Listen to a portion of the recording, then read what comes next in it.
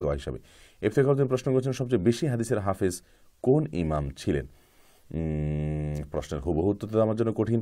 তবে ইমাম আহমদ ইবনে হাম্বল রহমাহুল্লাহ, ইমাম বুখারি রহমাহুল্লাহ, ওনারা সবচেয়ে বেশি সংখ্যক হাদিসের হাফেজ ছিলেন আমার যতটুকু জানা পড়ে।